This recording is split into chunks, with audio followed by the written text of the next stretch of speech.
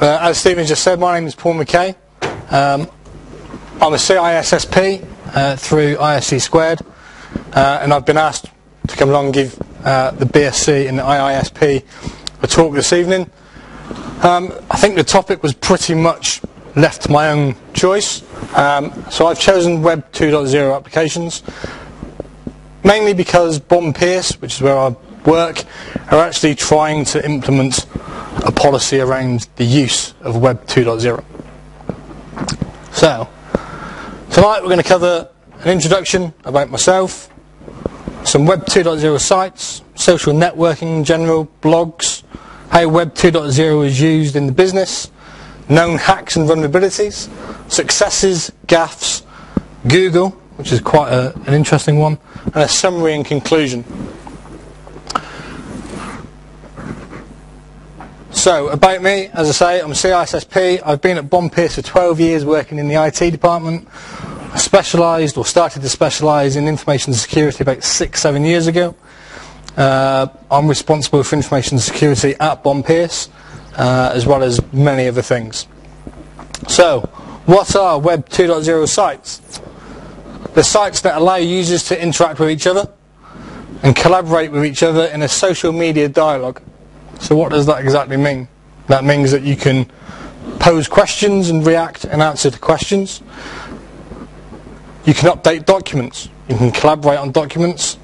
And you can also do marketing, which is where our business development team are trying to use Web 2.0. They allow users to do more than just retrieve inf information by increasing what is already possible within Web 1.0, so the internet as we would like to think of it already existing. It's much enhanced, much richer user interface, the software, storage facilities, and all through their web browser. So it's all thin client stuff. So examples, well-known examples of Web 2.0 sites. We've got Facebook, used by millions worldwide. I can't actually remember what the, the latest figures are for Facebook, but it's a ridiculous number of people. Twitter, sorry? 800 million. There you go. I'm sure they were all friends of each other by uh, six degrees of separation as well. Twitter, used by millions worldwide.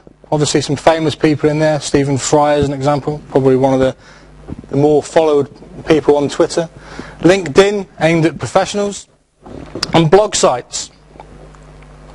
So Facebook. So yeah, I've actually got 500 million. It's obviously gone up in the last couple of weeks. That's worldwide user accounts based on Facebook. Allow users to share pictures and thoughts by status updates. Allows users to message one another, and there's also a little instant chat, instant messaging facility now in Facebook. Allows applications and games, which are obviously deemed to be the bad side of, of Facebook where businesses are concerned. And privacy controls have massively improved.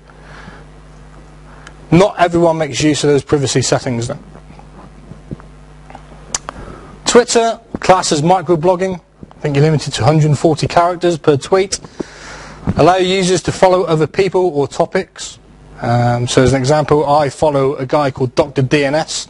He's actually called Thomas Lee. He's an American, uh, and he actually specialises in PowerShell. Um, so if you you know follow him, you get loads of code and different little blog you know blogs about various things. It's a useful source of information and can answer an issue. Thomas is one of these people that will actually give uh, a, a, classroom on, on, PowerShell, and part of that week-long course he'll sit there and using Twitter he'll ask a question along the lines of what is the best WMI class to interrogate the operating system. And sure enough, within a couple of minutes, somebody that follows Thomas has replied with use this WMI class. However, Twitter is flooded with useless comments 1% of the people account for 99% of the activity. And Twitter obviously relies on you following a person or topic. LinkedIn, primarily used by professionals, aids with CRM, so client relationship management, and networking within industry. It's a good source for meeting new people, contacts, and therefore business opportunities Bond Pearce, as an example, are very much keen on allowing all of our lawyers to be able to use LinkedIn for that networking and social interaction with other law firms, other businesses whereby we might win business from them simply by being out there, being seen to be out there, being approachable. Many businesses now encourage the use of LinkedIn for maintaining client and customer links. We quite often within the IT department at Bond Pearce get asked to allow access to Facebook, to Twitter, to LinkedIn, to different other social network sites, to YouTube. And it's also easy for targeted abuse by recruiters. We've actually got a, an instance where there's a recruiter in the southwest who's basically been ripping off all of the jobs that we've been posting ourselves, putting them on his own website, inflating the salary by a factor of about 10, and badgering our recruitment team to make him the, the prime recruiter for Bond Pearce. Needless to say, he hasn't got very far. Blogs, some of them can be excellent. However, there are also some dodgy ones out there. Don't read very well. Topic matter isn't very good. And certainly you can dis disclose too much information. So obviously a business is responsible for the upkeep of its own integrity and security. And some blog sites do indeed release and disclose too much information about an individual or a business.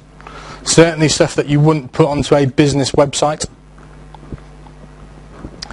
However, blogs rely on people actually going to that blog site and reading the blog. If it's too long, certainly myself, if it's pages and pages and pages, I'm certainly not going to sit there and read it. So how is Web 2.0, social networking, social media, used within the business? It certainly has reinvented marketing. And you'll see as an example in a second how that's uh, been the case for one particular company. You have the ability to reach out to a wider audience in a very short time period. No longer are you doing flyer mail shots, which obviously take a day or two to get somewhere.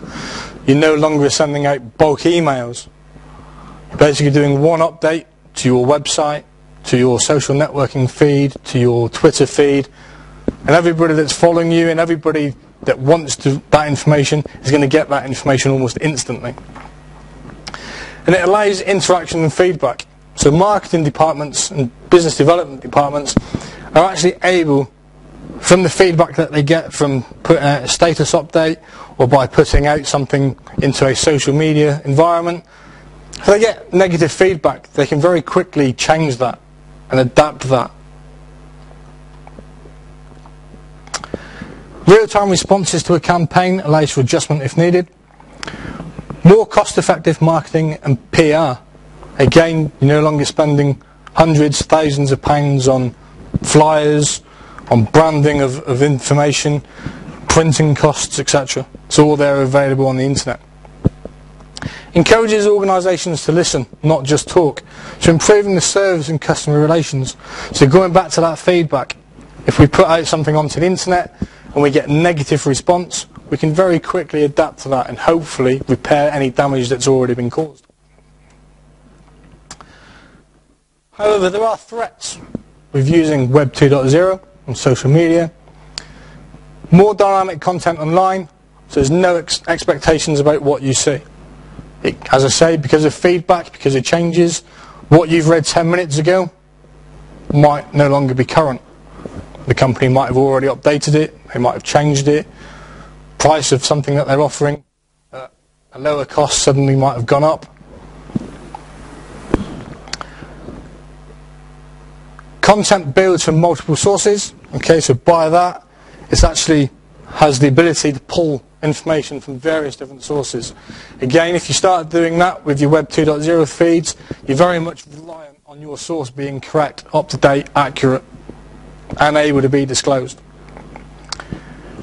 Users implicitly trust content, so Facebook, LinkedIn. Should you trust the content that you read on the internet? It's a bit like what you read in the newspaper. Yeah, some of it should and could be taken with a pinch of salt. sites send consent emails with little content to the user. So you must follow a link to learn the information. So you might just get a link to Google's privacy. Google's privacy pages are pages and pages and pages, and you'll see in a second why parts of it are actually worth a read, especially if you're having problems sleeping at night. So known hacks and vulnerabilities. So looking at the three or four that I've already touched on. So Facebook, there was obviously quite well uh, known Koobface virus, uh, supposedly Facebook backwards. Obviously book is backwards, but face isn't. Hoax apps, getting you to click on an app to install a Trojan or a worm, which then allows you to disclose of information on your machine, whether it be your bank details, email addresses, etc. Money transfers. There was quite a big scandal with Facebook about 12 months or so ago with money laundering, etc. Fake ads. Fake ads down the right hand side of Facebook. These are actually targeted ads as well, based on your cookies.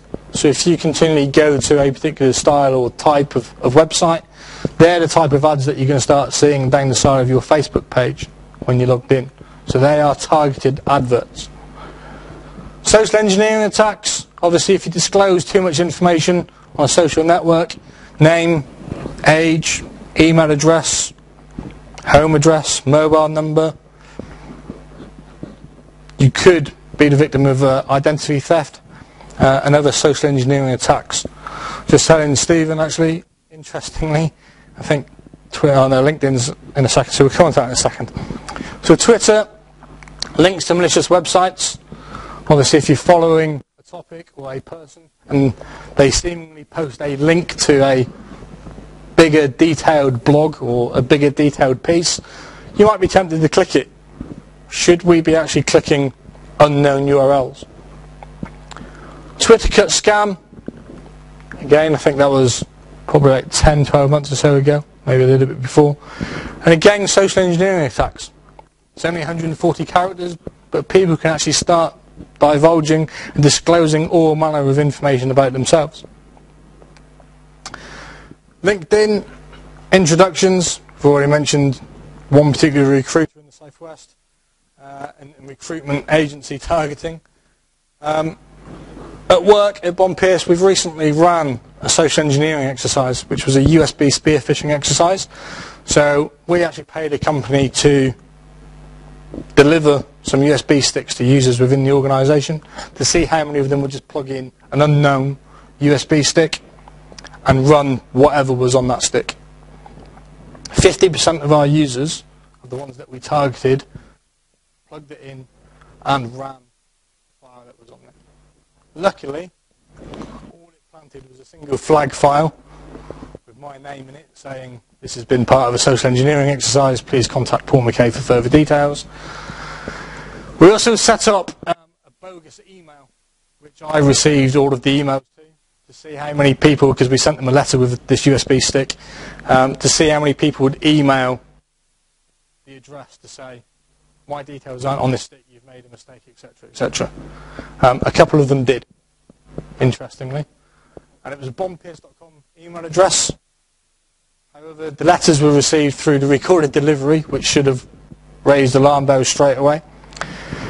The letter that was printed by the external company, they'd never actually seen our letter template but they managed to retrieve a copy of our letter template off the internet through four or five different sources, none of which were actually the Bond Pearce site. And they went to the, the trouble of actually branding the USB sticks with the Bond Pearce logo, which is why I think the majority, or 50% of our users, plugged it in, rightly or wrongly, soon to be slapped wrists all round. Blogs, Again, if you disclose too much information, it can lead to social engineering attacks. Hijacked blogs, this links to malicious sites. So again, links that are embedded into the blogs or at the end of blogs for further details, etc., or related topics, might not necessarily be a related topic. It might actually lead to a hijacked site, malicious code comes down, infected computer. Reputation can come into question especially if you've got a disgruntled employee. Uh, and all that disgruntled employee wants to do is sit there and say, I work for X, Y, and Z, and they're rubbish. Going to do brand and reputation of that business no good whatsoever. And not all blogs are good.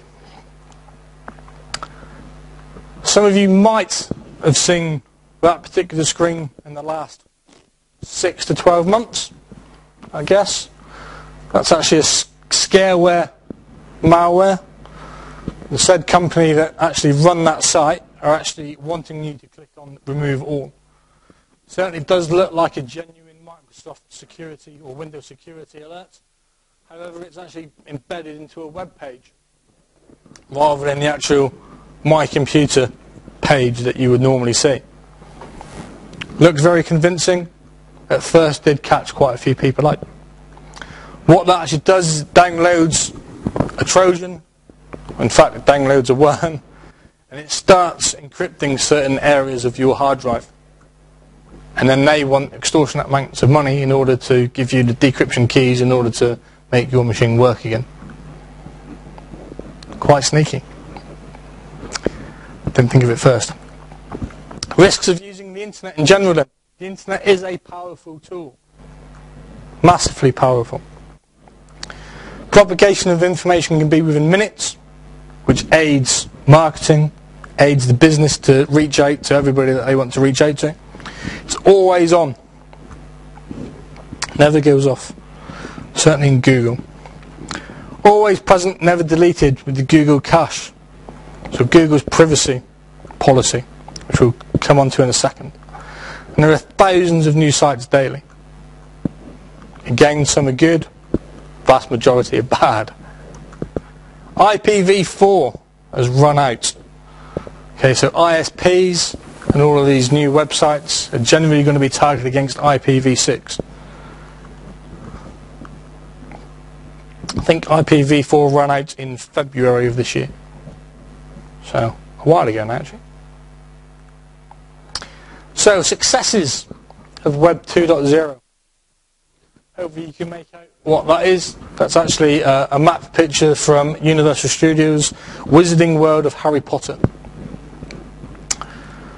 So, Universal Studios in Orlando, Cindy Gordon, is the Vice President for Marketing, she basically had an unlimited budget to market the new Wizarding World of Harry Potter. She could have planted adverts on the TV in the middle of the Super Bowl, arguably one of the biggest sporting events watched.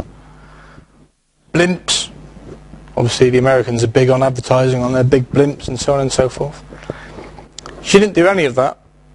What she did is she found out the world's seven most popular bloggers and she invited them to a secret midnight webinar. She basically told them the details and the information about the Wizarding World of Harry Potter. Sure enough, those seven people, after the midnight session, went away and they blogged about what they had been told by Cindy, uh, Cindy Gordon. And sure enough, within 24 hours, it had gone viral. It had gone absolutely around the world in 24 hours. That's how powerful the internet and the right style of blog that captivates people to read it can be used. Another instance, Dr. Helen Smith, she's a dentist in Boston, business, £150,000 a year. She was in the local directory along with you know, a handful or so other dentists, and a bit like the UK, unless you're prepared to call your company a silly name of A1 or 1111A or some other random name so you appear first, then you know people might not actually get to your advert. However, what she did, she wrote a blog and a book entitled Healthy Mouth, Healthy Sex. Patients loved it. American Association hated it because of what she was trying to portray uh, dental hygiene, etc., to be. Within two years, her business went from £150,000 a year to be in excess of a mil- uh, $1 million uh, per year. So again, by blogging, by writing a book, captivated people. She's uh, been able to turn her business from a probably just getting by business to a thriving business. So, with the successes, and for every success, there's probably 10 gaffes, at least. So, Member of Parliament Warren Swain sacked after a racial comment about MP uh, Chuka Umunna. And I think that was via Twitter. There was also another instance of a, an MP up in uh, Cumbria somewhere who was stood in the, the queue of a post office and he tweeted something and that also got him pretty much out the door very, very quickly. Disclosure of information when accounts have been hacked. So if you've got weak passwords, people can actually start using that again to disclose information. Workers sacked for calling job boring on Facebook. Again, said person probably listed where they worked, and as such, detrimental to the business brand and reputation, and got sacked. July 2009, Darren Bent in Tottenham berated his boss, Daniel Levy, costing him a fine of £80,000. Okay, so cost implication there. Tim Bresnan, England cricket all-rounder, hit the expletive button and replied to comments about his weight, and he later apologised. There was some stuff in the, the, press about him ballooning and becoming fat, etc., and he basically went off on a bit of a rant, a bit like Joey Barton does these days. If you think of uh, footballers, he seems to be quite a, an avid tw- tweeter. And the gaffs continue. So two successes and already six gaffs. Philip Hughes, Australian cricketer, revealed he had been dropped prior to the England test, which basically gave England cricket team a psychological edge because they knew that he wouldn't be playing. So they knew that he wouldn't be playing, so that wouldn't be his style of cricket being played. An employee sacked on Facebook, another one on Facebook, after complaining about her pervy boss, forgetting that they were friends on Facebook. At least go and check first. So posted a comment complaining and the boss left, as you can see, a wall message basically saying, don't come in tomorrow. He's sacked. Recent issues, certainly the London riots, very much orchestrated with the use of social media. So Twitter, um, I think Twitter was the main one, and Facebook. No press about the riots being orchestrated or controlled via LinkedIn as an example. Protection then. So isolate the user actions and machine, so defense in depth and least privilege. To ensure that your users in your business or within your environment only have as much rights and permissions on your system as they need in order to do their job and no more difficult to do at times. People move jobs. This is where we get something called permission creep. So a person might work in the accounts department and then say, I've had enough of this, and they go and work somewhere else, and all of a sudden they've still got access to all of the accounts information. Educate users to best practices and provide security booklets for them to take home. Again, not the most interesting of topics, but will help your business. Provide acceptable usage guidelines. This is the one in work at the moment. I'm battling with our business development department around the use of social networking and social media. They're very much that all of our users should be allowed to use Facebook, LinkedIn, Twitter, etc., etc., because all they can see is the positive side of it. I can see the positives, but I can also see the risks. And test users periodically, whether it be via social engineering exercises, Random subset of users don't always pick on the same users. They're going to get pretty savvy to the fact that every six months you might come along and try and catch them out. You're not actually trying to catch them out, you're trying to raise awareness. It's quite an important thing to, to, to mention as well. And to publish the results internally. but whatever you do, don't publish them externally. Very big brand and reputational base um, faux pas that would be.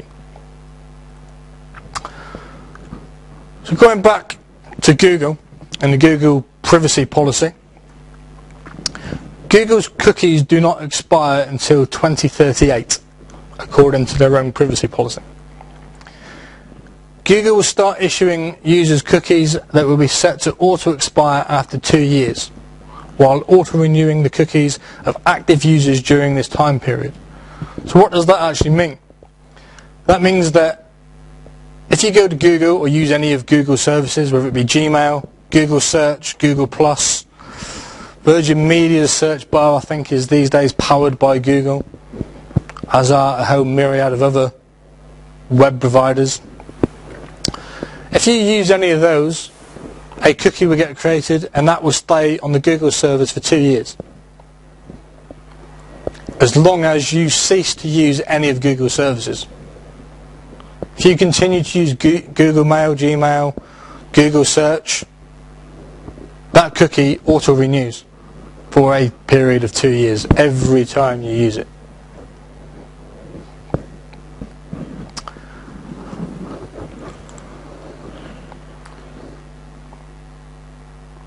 So again, the two-year period restarts every time you use a Google service. Google Chrome is an interesting one, which is obviously Google's browser. Quite a few people like to use it these days. It's a lot lighter than IE. Seems to work a lot quicker than Internet Explorer. Dangers. Google knows every URL you searched without clicking submit. You, most of you would have probably noticed whenever you use Google now, whether it's via Internet Explorer, Safari, Firefox, whatever, the moment you start typing your search out, you no longer have to click submit. You already start getting results. And the way they do that is because they monitor what you actually type. So they know what you've typed before you've hit submit. It's quite scary. And Google tracks every auto suggestion, so that is that express search pop up. The future of web applications then. So pre web, newspapers mainly.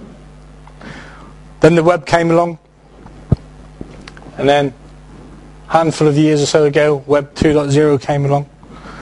Smartphones, iPhones, HTCs, Google devices, Android, all capable of running Web 2.0 device. Allow you to interact with others, Facebook, LinkedIn, etc. Web 3.0, which many people probably haven't heard, is coming. Uh, and certainly you can see from the, the little icon, um, where's the mouse? Uh, this icon here, some of you might actually recognise. That's the um, check-in place on Facebook. So that's using what's deemed to be Web 3.0. So no longer is it just allowing you to interact, it's actually tracking your movements as well. Big brother, eat your heart out. So in summary then, neither you nor your clients or staff own social data. Google, Facebook, Twitter, Bebo, MySpace, they own data. The data is actually held on their server. It's theirs. A flaw in any of Google's or Facebook or any other third-party application can expose consumer data. So disclosure of information very easily. Don't forget that once it's on the internet, it's on the internet. This sets the stage for ID theft, insurance theft, employment denials, which I've seen quite a lot utilised recently actually where a company will do a recruitment campaign and all of the applications that they get in, somebody will sit there and actually go through Facebook or go through Twitter or go through MySpace to see if that person's on there to find out what sort of person that person is before they've even come for an interview as well as any psychometric testing and other pre-assessment days and so on and so forth that, that Bond Pearce do. Most privacy policies have loopholes that you could basically drive a battleship through. That's one of the things that our business development department aren't quite so keen on trying to readjust. They're happy to adjust the internet usage policy to say you can use Facebook, but that's it. they don't want to touch any other policy around disciplinary procedure or through privacy policies. It's important to encrypt, encrypt, encrypt. Whether it be full hard drive encryption for your laptop users, whether it be file and folder encryption for your normal users. Any sensitive data you need to protect and basically plan on having a breach and then dealing with the fallout of that breach. It's pretty much guaranteed that if you use social media and you use the web in order to promote your business, you will at some point have a form of breach. Whether it be a company sending branded USB sticks through the post and recorded delivery to your users, who 50% of them then go and plug them in and run the executable that technically is a breach. Those, that 50% did not deal with the USB stick in the way that they should have. Users treat their computers like cars. They assume there's a le lemon law for, the, for software or a seatbelt protecting them from themselves. I would imagine all of you in this room that can drive, the first thing that you do when you get in your car, or pretty much the first thing, is put your seatbelt on businesses and companies are very much of the attitude of it's never happened to me or us, so it never will. Well, the analogy there with the seatbelt is I always put my seatbelt on in the car. I've never been thrown through my windscreen either. Never been close to being thrown through my windscreen, but I still put my seatbelt on. People like new technology, and new tools, especially in law firms. Partners, they like new gadgets, they like Blackberries, now banging on about iPhones and various other devices. Uh, so suggestions to take away with you. Educate yourself through seminars, discussions, uh, web training. Educate your users. Don't lecture them. Try and educate them and make them aware that it's a, an awareness session and that you're not trying to be a dictator, although in most cases you are, of what they can and cannot do. Educate your families and especially the kids, especially if you work from home and if you've got a corporate laptop that you use, obviously that should be very much for your corporate use, not for allowing your little kiddie to go on CBeebies or Facebook or whatever else. Analyse trends and pay attention to regulatory changes and legal opinions. Obviously, being a law firm, uh, the Law Society or the Solicitors Regulatory Authority actually changed their guidelines for law firms in the UK last Thursday, the 6th of October. Uh, massive set of changes, uh, which a lot of people at Bond Pearce are actually chomping at the bit and running around like headless chickens in order to get those changes implemented. Keep on top of emerging threats Read blogs, the good ones. Stay current with your um, antivirus definition pattern files. Uh, and try and keep ahead of the game. Very difficult to do. Perform in-depth information flow analysis and information leakage analysis. So verify the information that your users are putting on Twitter. Verify the information that your users business development department, marketing department are putting onto your public facing website. Are there any questions at all? Or have you all gone to sleep?